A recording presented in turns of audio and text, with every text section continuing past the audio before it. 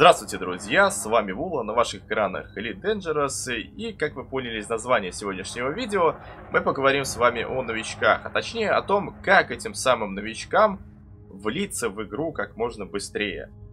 Потому что Элитка все-таки очень сложная игра. Кто бы что ни говорил, в элитке огромное количество разнообразного функционала, разнообразных клавиш и так далее и тому подобного. Господи, тут информации хватит на хреновую тучу видосов, но я постараюсь как можно кратко рассказать о том, что понадобится новичкам в первую очередь, как управлять кораблем, какие еще функции нужны для того, чтобы начать играть. Конечно, даже я в рамках этого видео не смогу осветить именно все, но какую-то базовую информацию я постараюсь до вас донести. Разумеется, простейшим советом был бы пройти тренировку, потому что, ну, тренировка хотя бы позволит вам понять, какие клавиши вам нужно использовать, там все приблизительно покажется, то есть какие клавиши нажимать, для чего, те или иные действия, то есть там как управлять самолетом, как стыковать, как вести боевые действия и так далее и тому подобное. Но я расскажу сейчас вкратце то, что вам понадобится в основном как это настроить в управлении и, соответственно, как это будет работать в игре. Основные вкладки управления, которые вам понадобятся, если вы захотите, к примеру, поменять себе управление, это полет-повороты, полет-маневры, полет-тяга и полет разное. Полет-посадка не нужны, потому что это такие же самые действия в основном, как и полет-маневры. То есть разнообразные смещения влево, вправо, вверх, вниз и вперед-назад. Они как раз таки нужны для посадки. Поэтому устанавливать в управлении полет-посадка ну, не обязательно. Вот как видите, у меня ничего нет, и я спокойно себе летаю. Так как я летаю на джойстике, то у меня здесь вы видите разнообразные оси джойстика. Но у вас же будет стоять, к примеру, если вы играете с клавиатуры, то есть у вас здесь будет стоять клавиатура мышь, у вас, разумеется, добавится еще одна вкладка, это движение мыши, потому что в основном все движения поворотами, наклонами и так далее у вас будет выполняться мышью. Но при этом остальные вкладки у вас тоже будут присутствовать, разве что вот полет-посадка, вот как я говорю, он нафиг не нужен. По сути, это бесполезная вкладка. Теперь поговорим о том, как это все выглядит в игре. Тангаж — это когда вы поднимаете и опускаете нос. То есть двигаетесь вот в таком направлении. Рыскание — это когда вы смещаетесь в горизонтальной плоскости, Крен, ну, разумеется, это вот таким вот образом работает. Разнообразные смещения вверх-вниз, ну, понятно, вот здесь вот плохо видно, но это лучше будет видно на посадке. То есть это когда вы смещаетесь просто влево, вправо, вверх-вниз и, разумеется, вперед-назад. Это, это основное управление, благодаря которому вы летаете. Сейчас же хотелось бы поподробнее остановиться о некоторых пунктах вот этой вкладки, а именно полет разное. Включить-выключить автопилот – это не совсем то, что вы думаете. Некоторые подумают, что это способ автоматической стыковки со станциями, но нет, это немножко другая функция, и автоматическая стыковка работает как оборудование. Вы ее должны установить на свой корабль, и тогда вы сможете включать автоматическую стыковку в другой вкладке. Но вот именно вот это вот, включить-выключить автопилот, относится не к автопилоту, а к инерции. То есть, э, как вы понимаете, в космосе у нас э, нету сопротивления, как ни странно. И если, скажем так, ваш корабль не будет гасить свою инерцию, то вы просто будете лететь прямо, без остановки, с одной и той же скоростью, с одним и тем же ускорением. Это в том случае, если у вас как раз-таки выключен этот автопилот. По дефолту он, разумеется, включен. Как видите, мы стоим в покое, у нас скорость абсолютно одинаковая, мы не двигаемся. На самом деле это вращается Кориолис, эта станция вращается. Мы же стоим ровно, ровно в покое.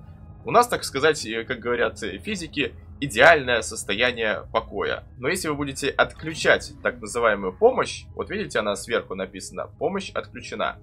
Эта клавиша у меня стоит как э, зажатие. То есть я ее держу.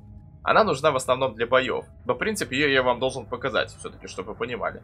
То есть, допустим, вот сейчас у нас э, включен гаситель инерции. Сейчас я просто постараюсь вращаться. То есть, вот я просто наклоняю ручку. Теперь я отпускаю ее. И корабль останавливается.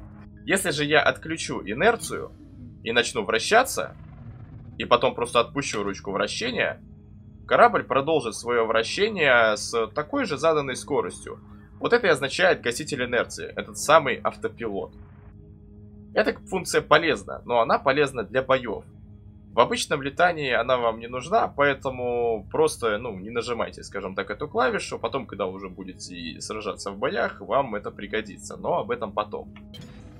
Возвратим обратно нашу инерцию. Берем следующий пункт. Это гиперкрейсерский режим и гиперпрыжок. О форсаже говорить не будем, потому что это просто банальное ускорение. Тап нажимаете, и корабль ускоряется. Все. А вот что касается гиперкрейсерского режима и гиперпрыжка, тут есть э, некоторые особенности. Гиперкрейсерский режим — это когда вы просто переходите в режим гиперскорости. Давайте вернемся в игру, и я вам все это покажу. Для того, чтобы перейти в гиперкрейсерский режим, вы должны двигаться, то есть у вас должна быть скорость. То есть если вы просто нажмете J, то корабль у вас э, в гиперкрейсерский режим не перейдет. Потому что, как видите, нужно ускориться.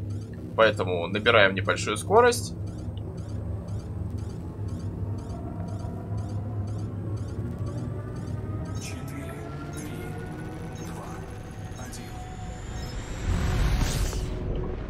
Так, замедлимся сейчас по полной.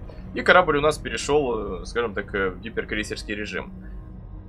Есть небольшое условие. Корабль не перейдет в гиперкрейсерский режим, если вы находитесь близко к планете, какой-то станции или какому-то авианосцу, у вас справа внизу загорится вот этот вот гравитационный захват. При гравитационном захвате вы, разумеется, выйти в гиперкрейсерский режим не сможете. Плюс дополнительно вы не сможете перейти в гиперкрейсерский режим, если у вас FSD перегружен. Это случается в том случае, если вы, к примеру, только-только совершили прыжок, или, к примеру, вас, наоборот, какой-то пират выбил из гиперскорейсерского режима, то у вас некоторое время FSD будет э, перегружен и вновь воспользоваться вы им не сможете. То есть войти в гиперкризисский режим у вас не получится. Теперь э, хочется поговорить именно о самом прыжке. То есть там было мое управление, поэтому там была клавиша K. Ну, вообще, на самом деле, у меня есть это и на джойстике, но неважно. Для того, чтобы совершить прыжок в какую-то систему, вам понадобится эту систему как раз таки и выбрать в качестве цели. Тут мы как раз таки плавно перешли к следующим советам, а именно понимать, что такое карта галактики и карта системы.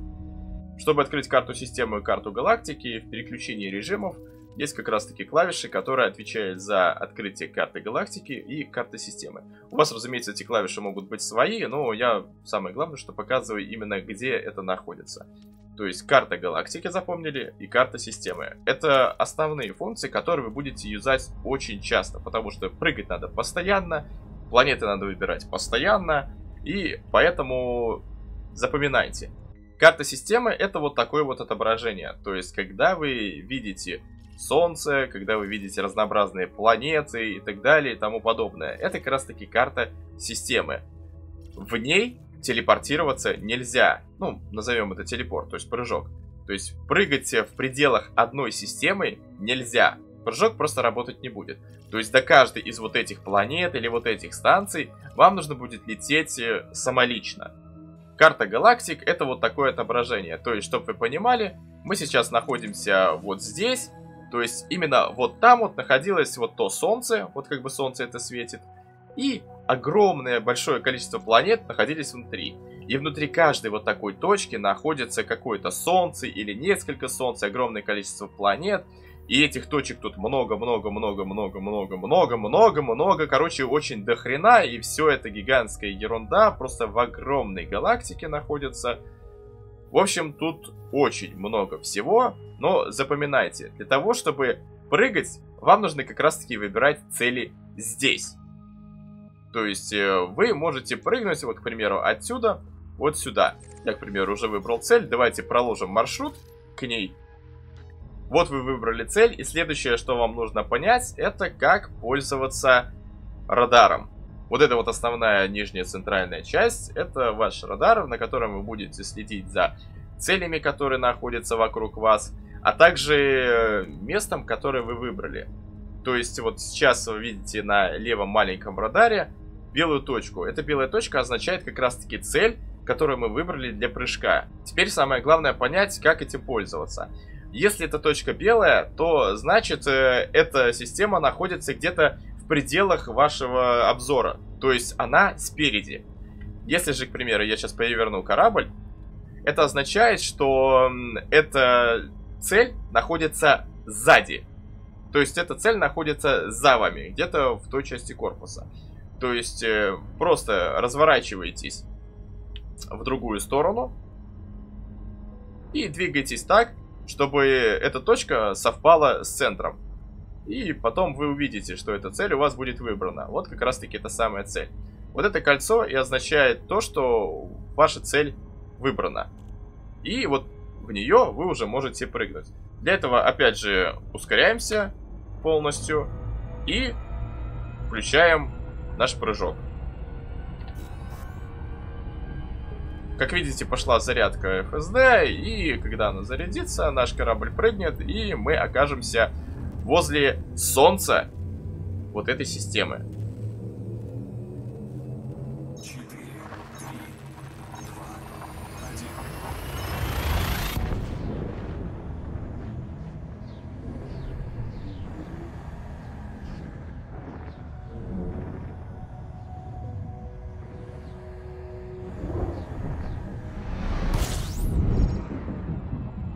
Сразу как только вы телепортировались, понижайте скорость на максимум для того, чтобы не влететь в это солнце, иначе вы сгорите, ну, уничтожите корабль. Хотя обычно срабатывает защита и вас выбрасывает, и, ну, потом просто надо будет разворачиваться, то есть опять заходить в гиперкрейсерский режим, просто разворачивайтесь от солнца и летите куда-нибудь э, в другую сторону. Переходим дальше. Во вкладке «Разное» у нас находится огромное количество полезных э, вещей. То есть это, допустим, корабельные огни, которые вы будете включать, усиление питания двигателей, усиление питания орудия, усиление питания систем, также грузовой ковш и шасси. Теперь давайте поподробнее о том, что мы сейчас настраивали. Корабельные огни включают, ну, разумеется, просто фонари, которые будут освещать э, пространство перед вами, если вы будете, к примеру, подлетать к каким-нибудь системам, планетам и так далее. Это просто банальный свет. Значок о том, что у вас включен свет, показывается справа вверху. Вот он, видите, я его сейчас переключаю. Шасси и ковш мы здесь открыть не сможем, потому что мы сейчас находимся в данный момент в гиперпространстве. Шасси нам нужно для того, чтобы совершать посадку, грузовой ковш для того, чтобы подбирать ресурсы. Следующее, о чем нужно поговорить, это как раз таки распределение энергии. В настройках вы ее тоже видели. За это отвечают вот эти вот три вертикальные столбика справа внизу. Под каждым столбиком вы сейчас видите по две точки. На самом деле точек там 4. И распределяя энергию в определенные столбики, то есть, будь то это система, двигатели или вооружение, у вас э, каждый из этих аспектов корабля будет работать, ну, лучше. То есть, если вы переводите все в системы, то у вас будут быстрее перезаряжаться щиты.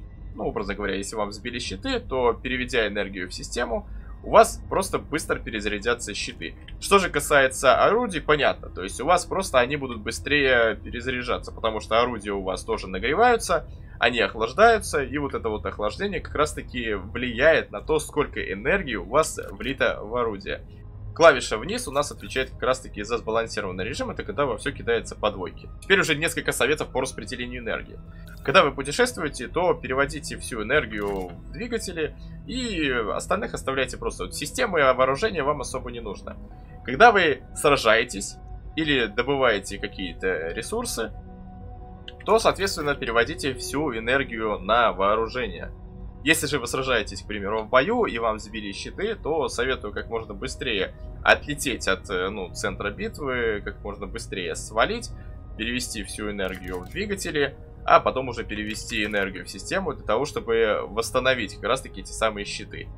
Вот, блин, столько времени видео уже прошло, а мы все еще маемся с управлением но я надеюсь, хоть некоторым это видео поможет. Следующая полезная вкладка это режим интерфейса.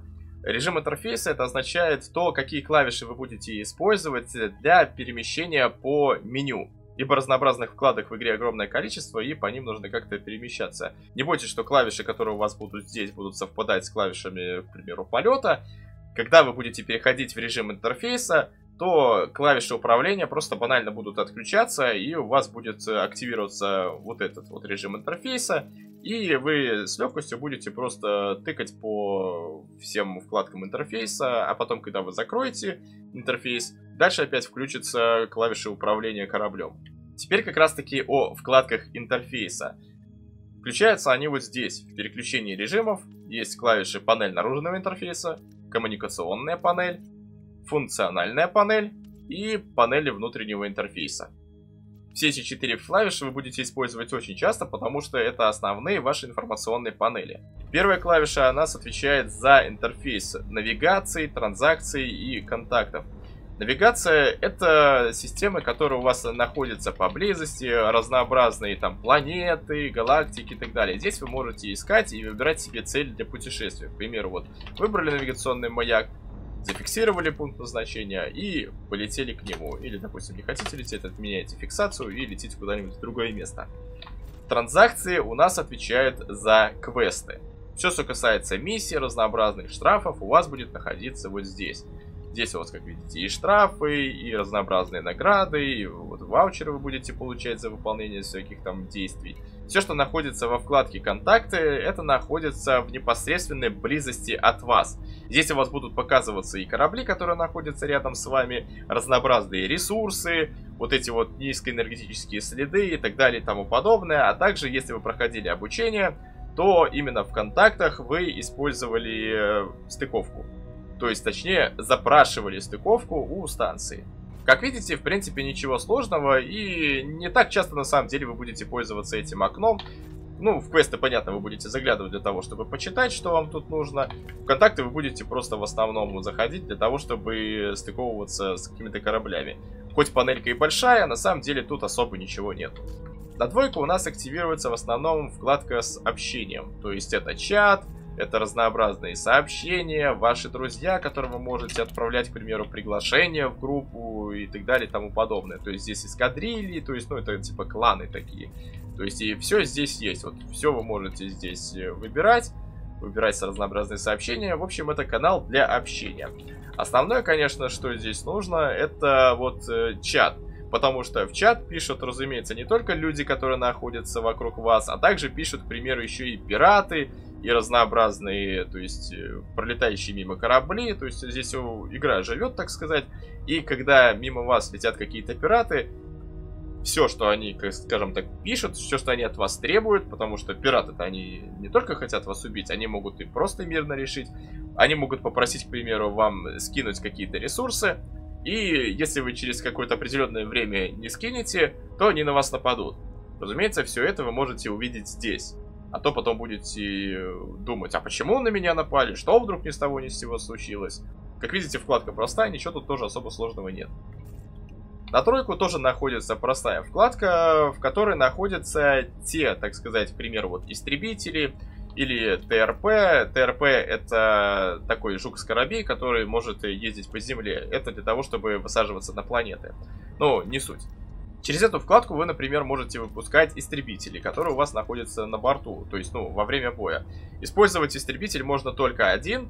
Если у вас его уничтожат, пока он перезаряжается, вы, разумеется, можете использовать второй. Но это в том случае, если у вас установлено определенное оборудование, потому что истребители это тоже непросто. Они находятся в ангаре, вам нужно установить ангар, но это оборудование, о нем мы поговорим попозже. Для того, чтобы развернуть истребитель, нужно для начала выйти из гиперкритического режима, потому что это происходит э, только, скажем так, на обычной скорости, во время боя. Поэтому переходим в эту вкладку. Давайте выпустим истребитель, чтобы вы приблизительно понимали, о чем я говорю. То есть вот мы разворачиваем истребитель, выбираем его,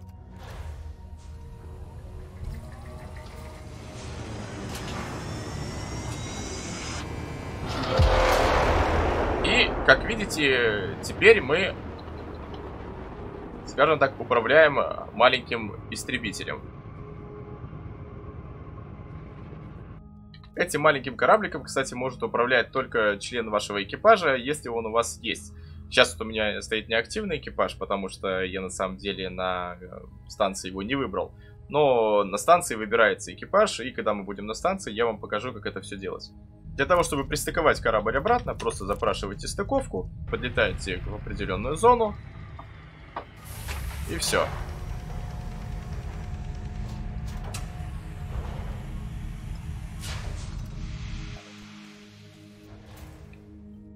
Четвертая вкладка, конечно, уже немножко побольше. Здесь уже много разнообразной информации. То есть, как видите, здесь ваши ранги показываются. То есть, боевой ранг, торговый ранг, исследовательский. Ну, боевые, понятно, вы получаете за боевые заслуги. То есть, если вы сражаетесь или выполняете какие-то боевые миссии.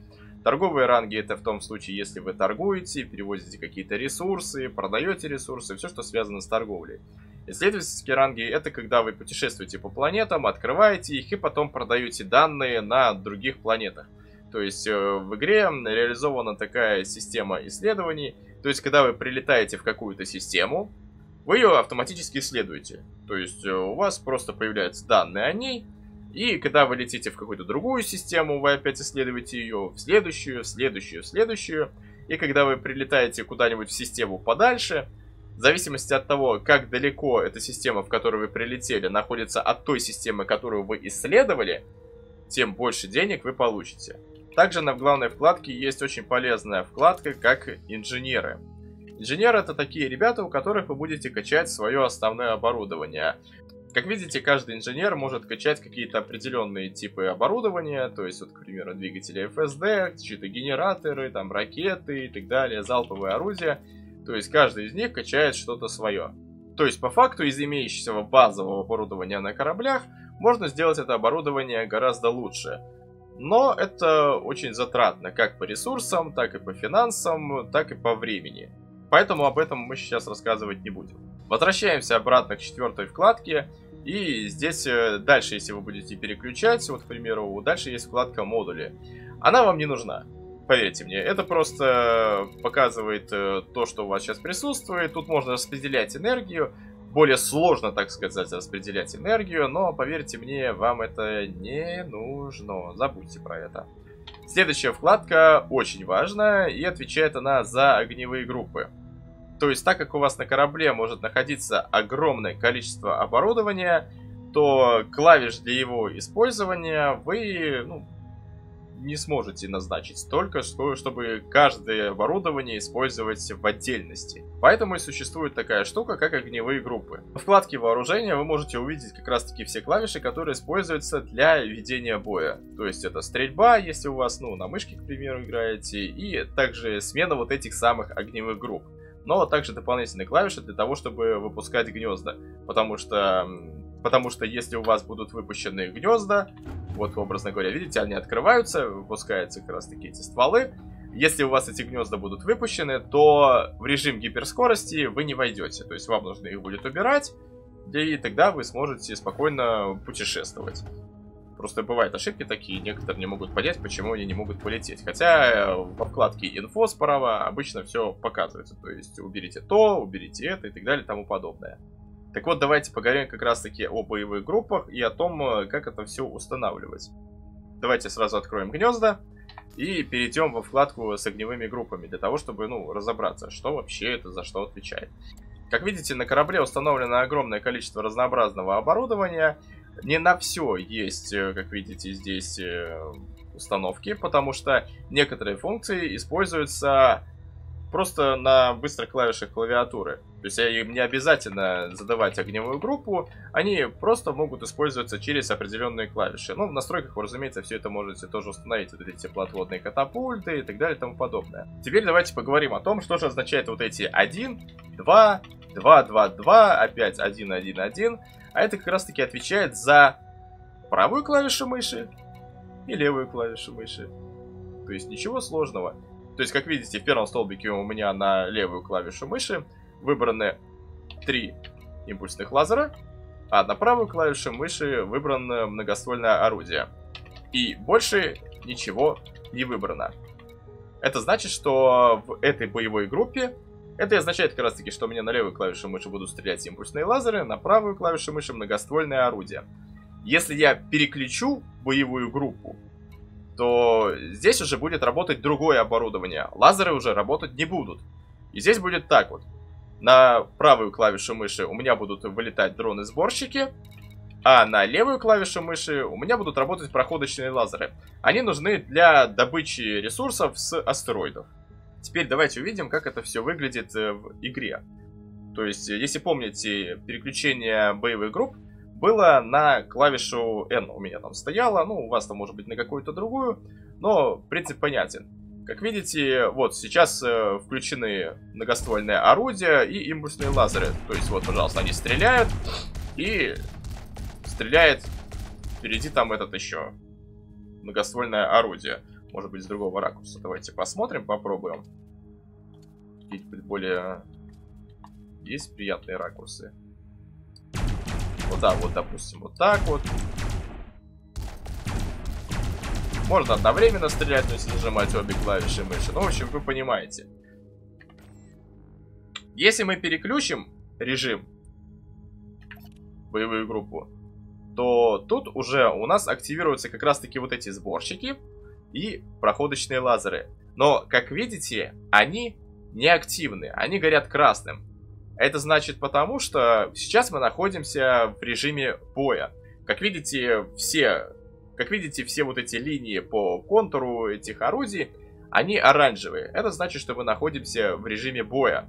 Во вкладке переключения режимов э, есть такая функция, как переключить режим кабины. То есть она у меня стоит на вот этот вот слэш такой, ну, можете, разумеется, поставить на что-то другое. Эта функция тоже очень важна. Она нужна как раз-таки для того, чтобы переключаться между режимом боя и режимом исследования. В режиме боя, понятно, вы ведете боевые действия, в режиме исследования вы используете разнообразное оборудование, к примеру, для добычи. То есть, если вот я сейчас переключу режим, как видите, активирован режим анализа, и теперь все эти проходочные лазеры доступны. Только вот, ну, понятно, у меня нету снарядов, они показывают, что кончились снаряды, и так как э, передо мной сейчас нет э, какого-то астероида, я не могу его разрабатывать. Но, если бы они были, я бы, разумеется, это сделал. Так что запоминайте, для использования вооружения вам нужны, разумеется, клавиши, которая будет отвечать за выпуск и запуск, ну, будем называть скрытие орудий, клавиша, которая будет переключать боевые группы, и клавиша, которая будет э, переключать как раз-таки режим. То есть либо боевой режим, либо режим анализа.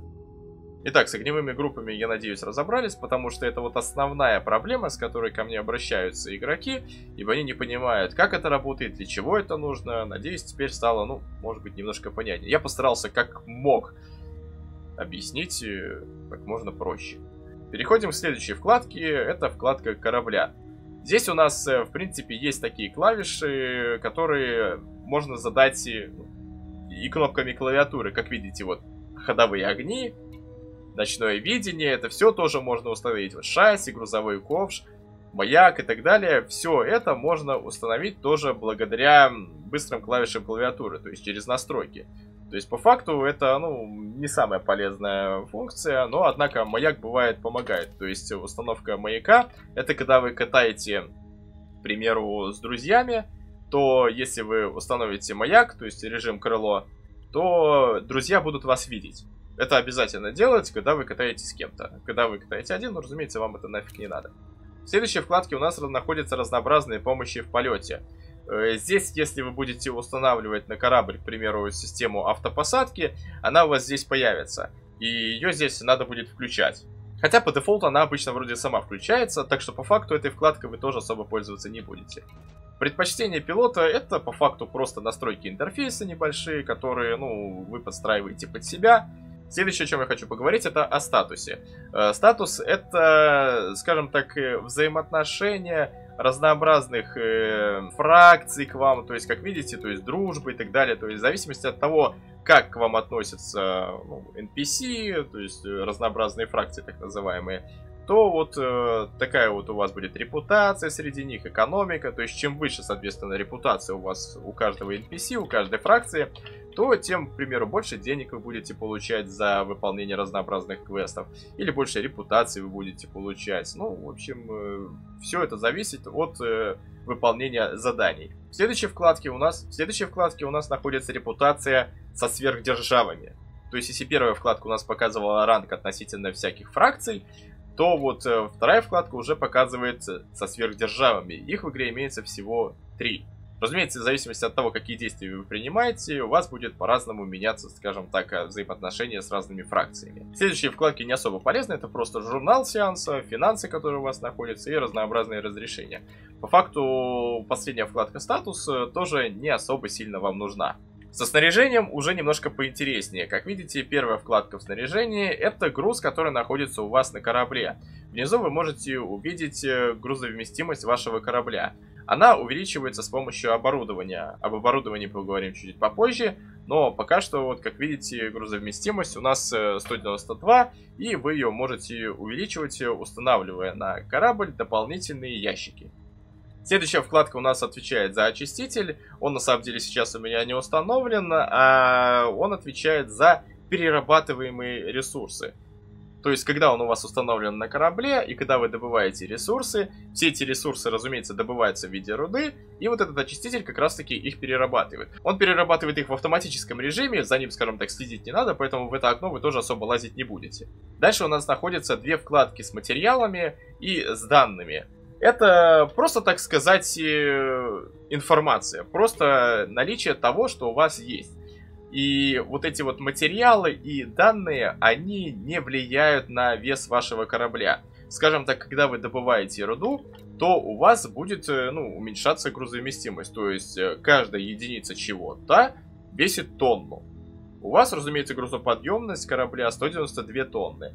Но при этом вот эти разнообразные материалы, которые у вас тут присутствуют, разнообразные данные, они в вес не учитываются. Их можно иметь вот сколько угодно, сколько позволяет э, их вместимость. То есть, вот, допустим, атипичное поврежденного следа 300, аномальный массив данных сканирования 300 и так далее и тому подобное. Все вот эти данные, они никак не влияют на вес. Следующая вкладка синтез отвечает за крафт. Как видите, напротив каждого из вот этих вот пунктов есть э, справа такие вот точки. Они означают, э, можете ли вы скрафтить эти вещи или нет. То есть, хватает ли у вас ресурсов. То есть, к примеру, вы заходите в вброс в FSD и видите, что у нас есть углерод, у нас есть ванадий, но мне не хватает германия. И, и это, к примеру, базовый вброс, и он, допустим, увеличит мне расстояние прыжка на 25%. Есть, разумеется, вот базовый режим, стандартный режим и премиум режим. Это как раз таки вот эти три точки, которые находятся справа. В зависимости от того, можете ли вы сделать определенные действия или нет, у вас там будут стоять точки вот такие вот. То есть, как видите, вот теплоотводы, к примеру. У меня хватает ресурсов на базовую версию, можно пополнить запас теплоотводов, на стандартную версию теплоотводов, но на премиум версию я уже не смогу сделать, потому что нету прототипов теплоизлучателей. Вот, э, к примеру, тоже касается дронов. Вот у меня их сейчас нету. Я могу, к примеру, пополнить запас дронов. У них, в принципе, только базовый, потому что дрон это, по сути, дрон. То есть я, к примеру, создаю дронов. Вот. Она мне скрафтила 4 дрона скажем так, по трудозатратам это крайне геморройно, потому что на самом деле проще этих дронов купить. Дроны стоят копейки, вообще копейки. Но если, к примеру, в пути где-то в космосе вы находитесь, и вам срочно нужен какой-то дрон, чтобы что-то запустить, то, ну, тут уже надо воспользоваться крафтом. Потому что если в космосе у вас появился э, лут, который вам нужно собрать, и вам его собрать нечем, а, соответственно, если вы улетите в другую систему, то этот лут просто пропадет. Так что вот и с четвертой вкладкой мы, в принципе, тоже разобрались. Как видите, в принципе, по интерфейсу корабля, что первая, что вторая, что третья, что четвертая вкладка, не такие сложные. С полетом мы разобрались, с вкладками разнообразными разобрались.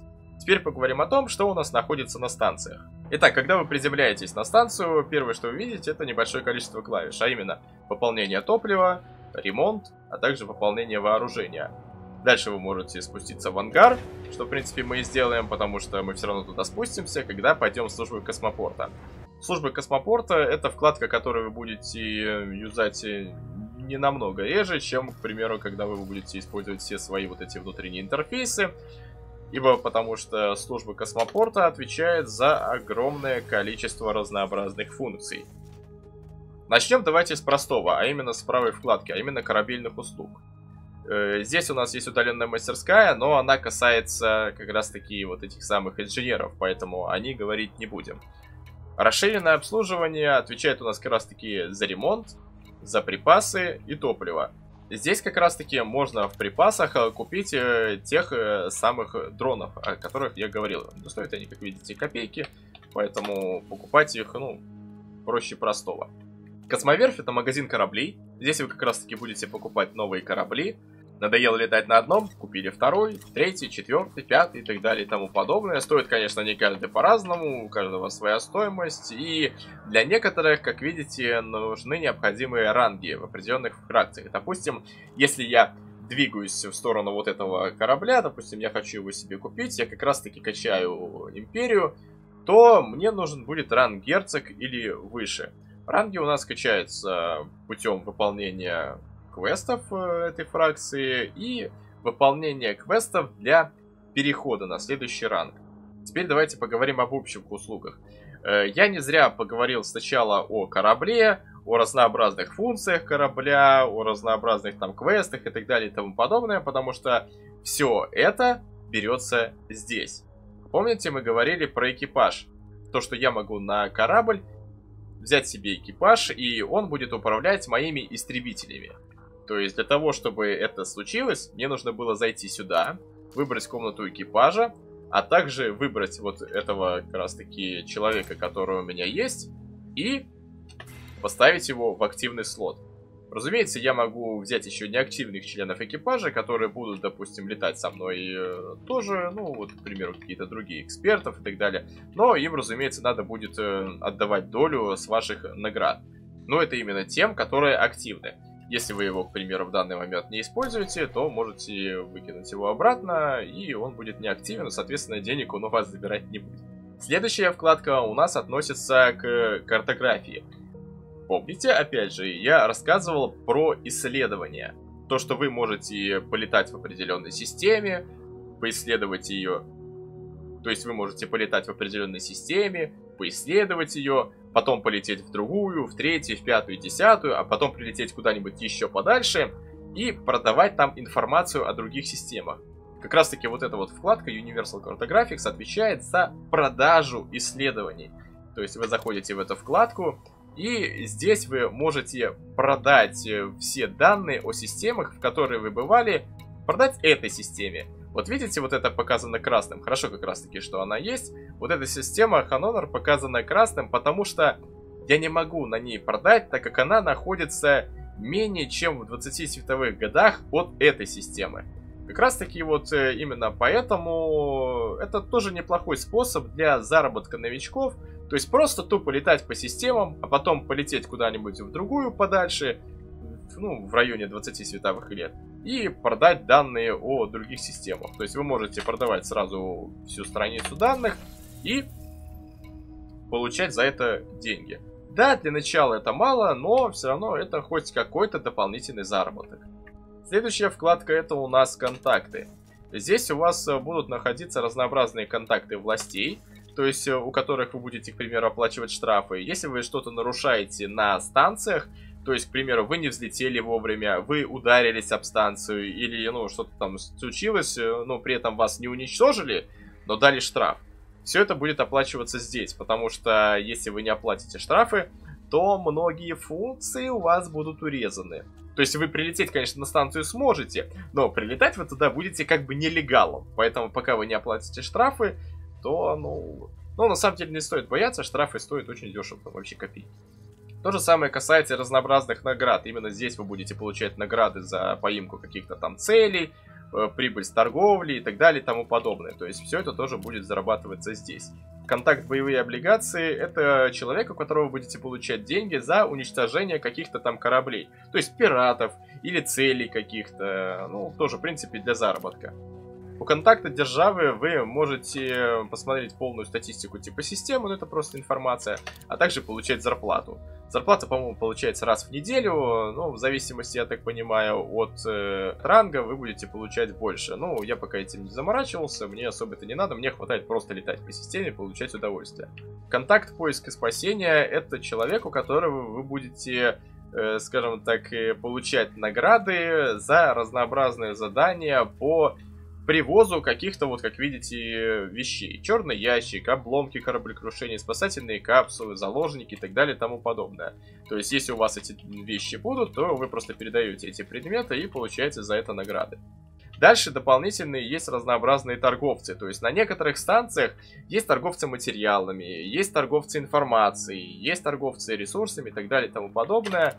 У них вы можете обменивать разнообразные, вот как видите, материалы на другие материалы. Я, по-моему, это рассказывал в ролике о добыче двигателя FSD, но приблизительно кратко я объясню. То есть, э, чтобы получить, к примеру, вот одну такую вещь, мне надо ее выбрать, выбрать другую вещь, которую я хочу отдать, и указать сколько. То есть я вот отдаю одну вот эту вещь и получаю 3 аномальных телеметрии. Как видите, их стало 35, тех 18. Просто тупой обмен. Менять можно не только вот в одной линии, можно менять отсюда до сюда, но в зависимости от того, что вам разрешено.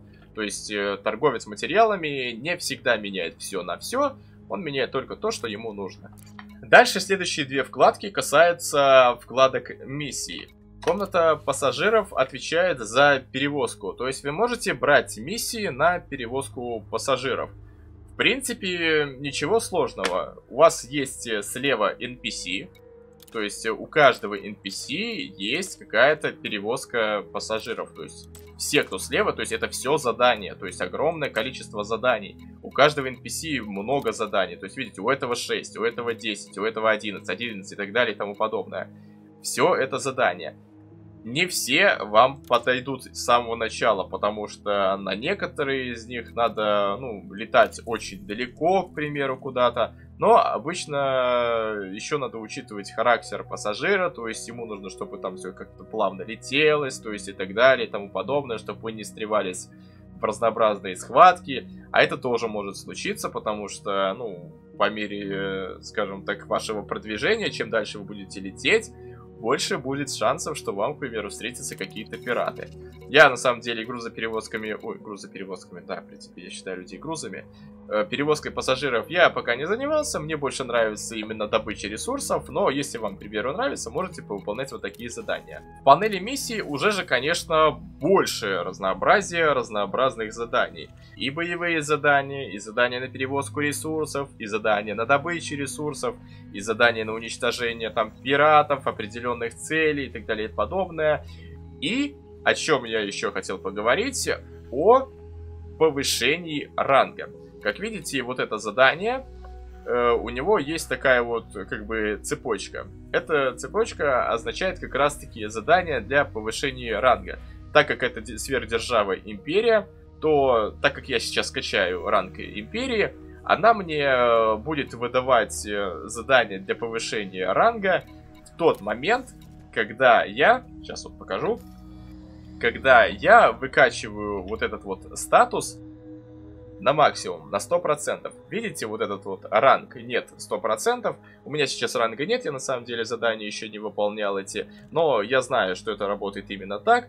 Чем больше выполняете заданий определенной фракции, тем, соответственно, чаще она будет давать вам задания на повышение ранга. Как видите, кроме того, что здесь находятся разнообразные NPC, э, здесь еще есть цели сообщества. Цели сообщества это глобальные ивенты.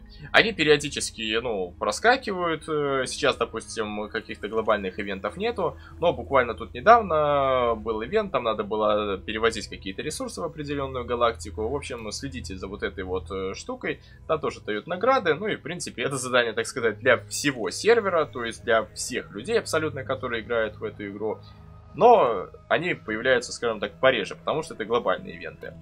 Обычно же задания постоянно обновляются. Всегда. То есть вы выполнили задание, прилетите в следующий раз сюда, у вас все равно здесь будут задания. Да, не все миссии, так сказать, вам доступны. Как видите, вот это означает 4 из 12.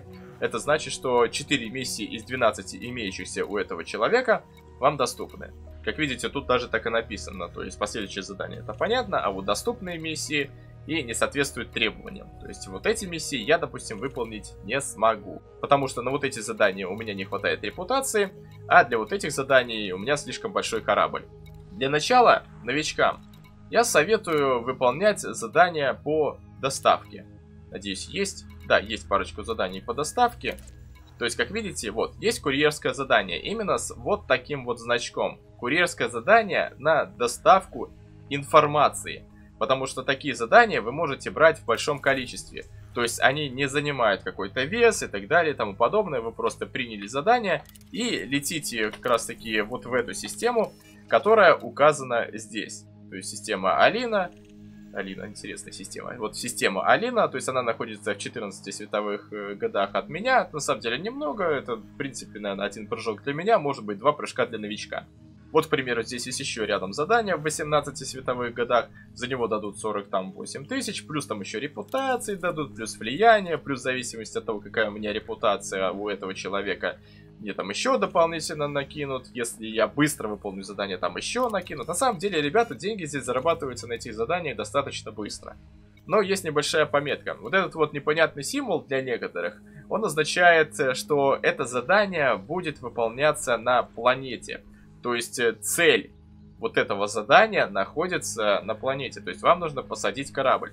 Вроде бы как бы сейчас э, уже Horizons, а это как раз таки то дополнение, которое нужно для того, чтобы э, садиться на планеты, оно бесплатное. Правда, я не знаю, в Epic Games э, вот раздавали игру, и я не знаю, доступно ли там вот это обновление Horizons или нет. Напишите, пожалуйста, в комментарии кто-нибудь, чтобы люди знали, доступно, недоступно. Потому что я играю через тему, и у меня это обновление было куплено. Но, знаете, вот этот символ означает то, что это задание будет выполняться на планете. Я очень не советую вам брать вот такие задания по доставке, потому что, как видите, нужно срочно доставить 2900-700 штук товара в какое-то убежище. Но проблема в том, что 2907 штук товара, да, дают как бы много денег, но 2907 штук товара, это если я затарю весь корабль грузовыми отсеками, это, черт подери, дай бог, если я хотя бы смогу поднять, ну, до 900 тонн. То есть вот э, одна такая штука, ну, одна штука вот этого товара весит тонну. То есть, соответственно, если я возьму, наверное, самый там большой корабль грузовой, который у меня только есть, полностью оборудуя его этими как раз таки складами. И, наверное, ну, приблизительно где-то 900 тонн я смогу, наверное, перевозить максимум. То есть мне нужно будет смотаться, наверное, 3 или 4 раза, чтобы все вот это перевести. Да, как бы мотаться недалеко, но, блин, 5 миллионов, ребята, этого не стоит. Я лично считаю. Поэтому для новичков советую выполнять именно вот такие задания с вот таким вот пунктиком. Конечно же, если вас интересуют какие-то другие задания, какие-нибудь там боевые, к примеру, или операции по спасению груза, то есть вы летите в какую-то систему, находите там вот этот черный ящик и привозите обратно сюда. Или, к примеру, боевое задание, расправиться с кораблями там тех-то, тех-то, тех-то. То есть, в принципе, задание несложное, но смотрите внимательно. Здесь есть такая пометка, что типа вам нужно уничтожить 36 кораблей. И поверьте мне, господа, за миллион семьсот тридцать шесть кораблей вы задолбетесь уничтожать. Честное слово, 36 кораблей это на самом деле очень много, и времени на это потратится прилично. Поверьте мне. Поэтому советую выполнять какие-нибудь задания на убийство цели. То есть убить какого-то пилота. Единственное, бывает такая сложность, что скажем так, требуется желательно выполнять это в крыле с кем-то, ибо сложность миссии достаточно высокая. В общем, ребят, заданий, конечно, тут огромное количество. То есть на разнообразные там вот получение данных, какие-то там уничтожения определенных объектов и так далее и тому подобного.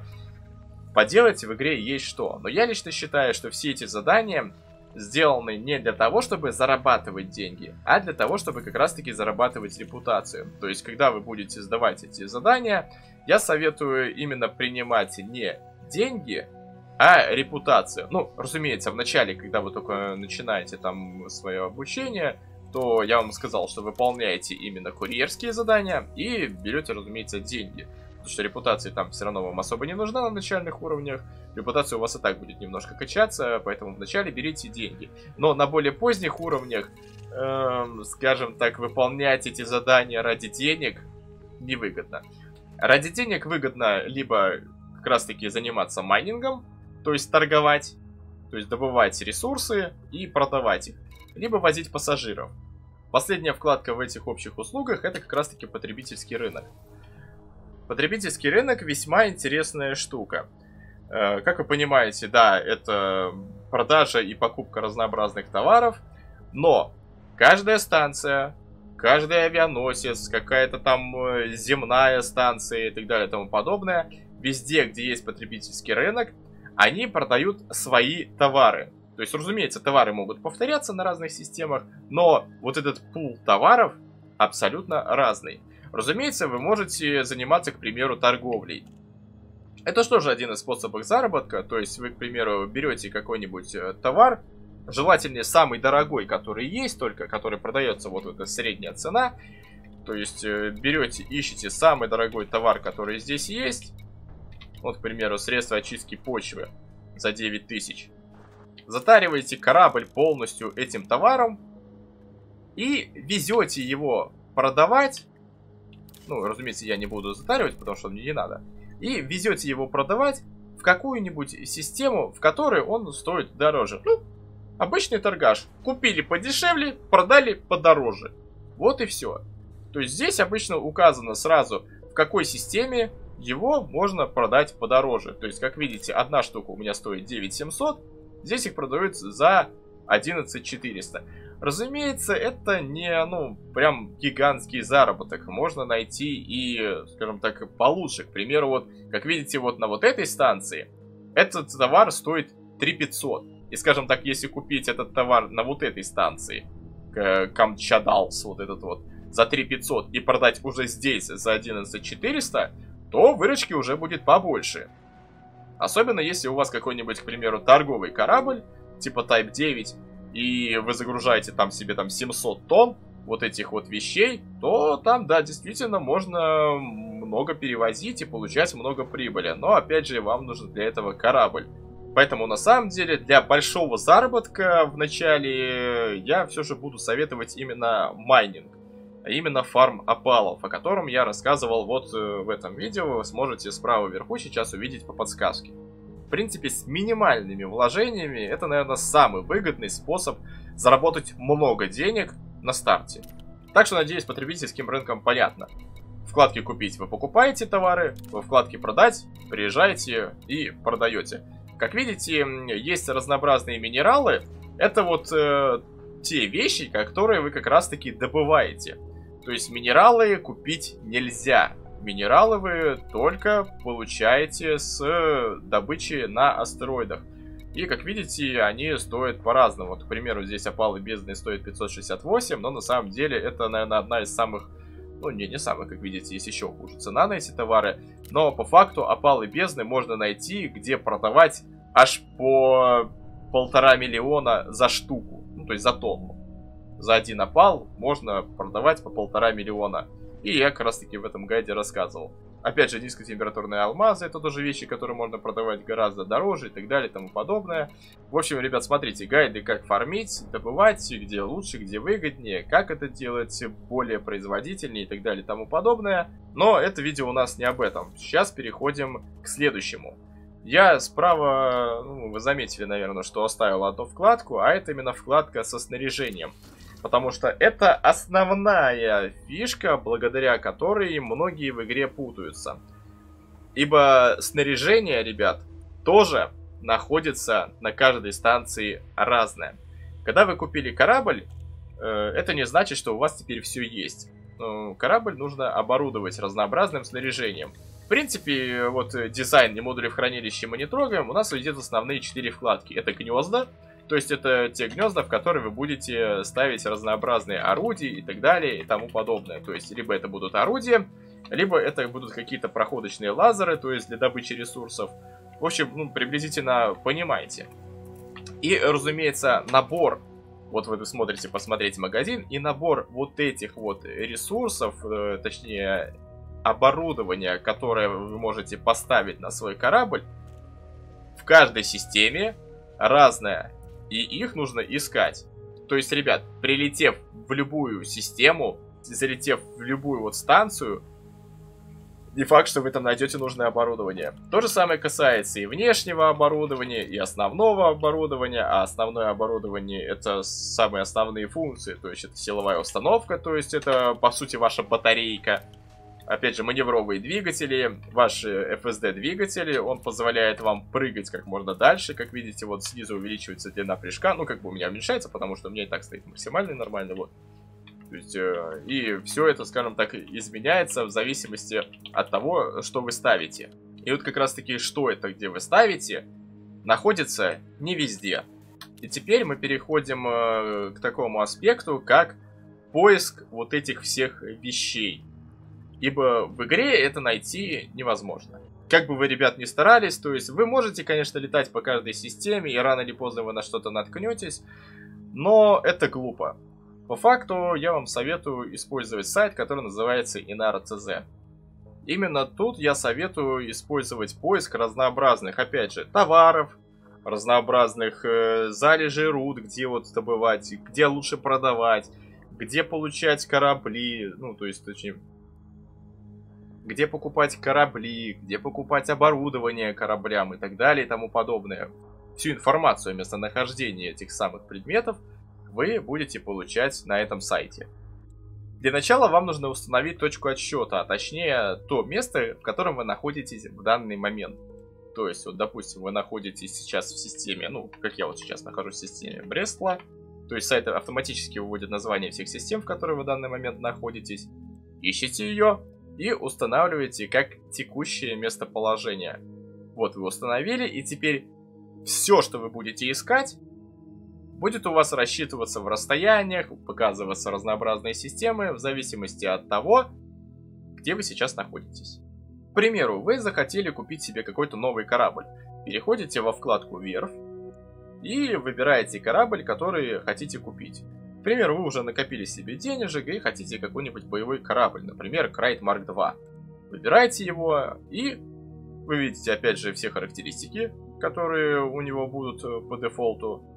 И плюс слева, вот здесь вот, вы видите станции, на которых вы можете это купить. То есть это показывает расстояние от вашей системы. Как видите, вот эта система Бресла как раз таки, в которой я сейчас нахожусь. В этой системе я смогу купить себе этот корабль. То есть Крайт Марк 2 на станции Айсола Проспект. В данный момент э, я нахожусь на станции Род Эденгард. И, соответственно, здесь, если я зайду в Космоверф, этого корабля не будет. То есть вот я прощелкал, прощелкал, прощелкал, прощелкал, прощелкал. И, как видите, Марк 2 здесь нету. А все потому, что он находится не на моей станции, а на станции Айсола Проспект.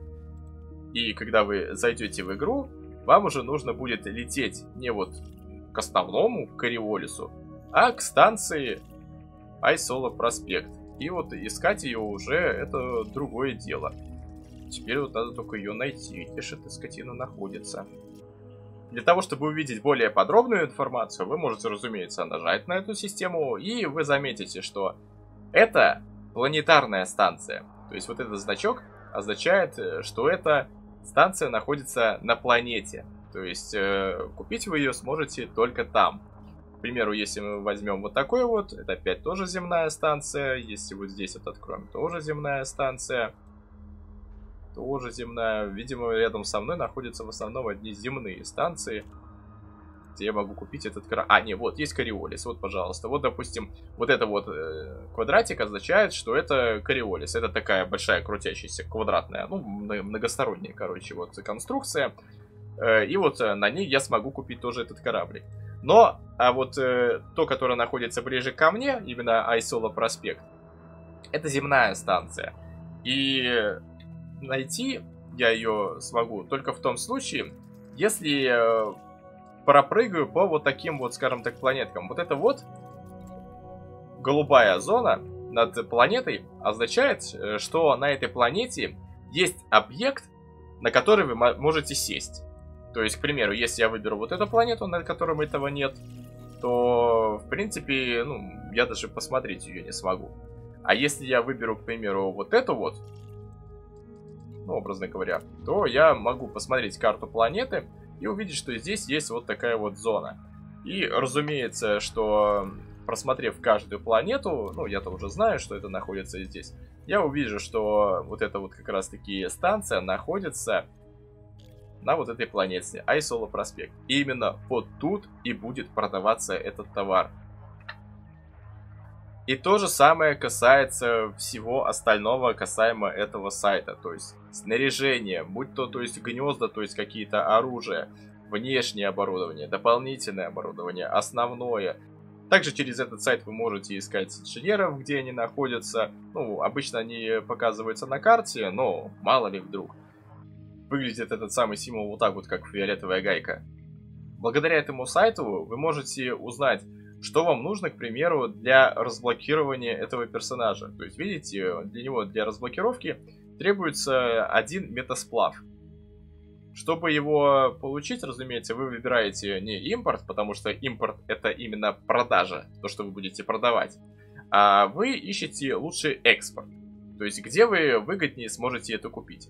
Отсортировываете по цене, и смотрите, уже летите по расстоянию, допустим, где подешевле или где подальше лететь, ну там чуть подороже. Понятно, да, все эти товары будут стоить, ну, по-разному.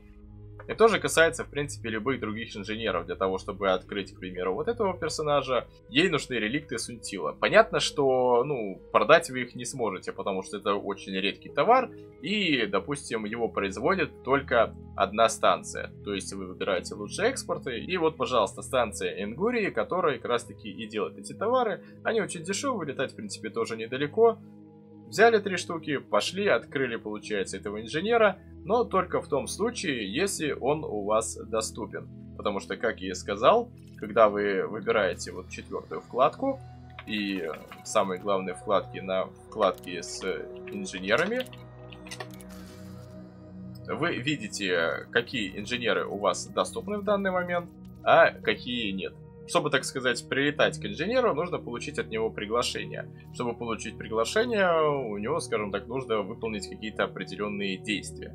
То есть, как, к примеру, для того, чтобы открыть вот эту лис, нужно достаточно, я так понимаю, хорошие отношения от э, Blue Mafia, то есть, ну, голубой мафии.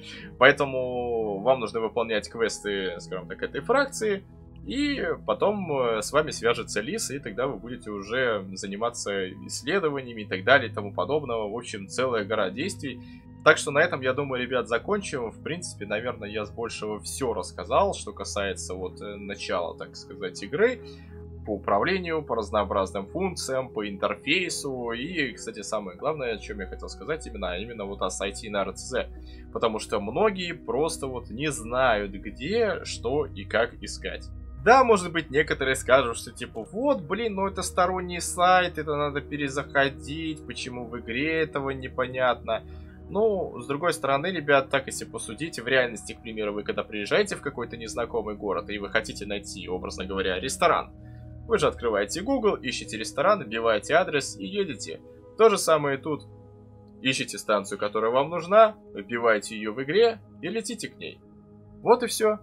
Ничего, в принципе, сверхъестественного. Ну и на этом все, друзья. Я надеюсь, вам понравилось это видео. Да, оно, скажем так, немножко перегружено информацией, но действительно, это еще не вся информация, о которой стоит говорить, потому что у игры огромное количество контента. И поверьте мне, на одно видео это все рассказать нельзя. Поэтому, если вы хотите узнать что-нибудь другое, то ищите дальше информацию о добыче ресурсов, о добыче разнообразных э, квестовых предметов и так далее и тому подобного. Но на этом все, друзья. Я надеюсь, вам помогло это видео. А если оно вам помогло, то подпишитесь на канал и поставьте колокольчик, чтобы не пропускать новые видео, а также стримы. И играйте, ребят, только в хорошие игры. Всем удачи, всем пока.